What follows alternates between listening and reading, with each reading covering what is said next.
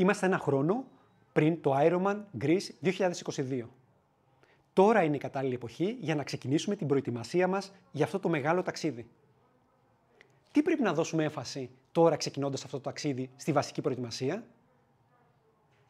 Τώρα η προτεραιότητα είναι η βελτίωση της τεχνικής.